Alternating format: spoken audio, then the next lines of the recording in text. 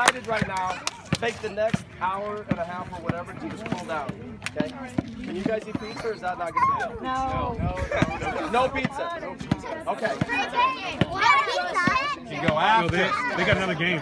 You, you guys want to go after? Yeah. After? Whoever can make it. So what I, what I want you guys to do then is just take like the next 30 minutes off. Just chill here, and then we'll practice for a bit, okay? We have team pictures to hand out. So guys, in about 20 minutes, I'm gonna give out some awards and the pictures, okay? We're gonna do pizza after. Yeah, these guys, they don't want pizza.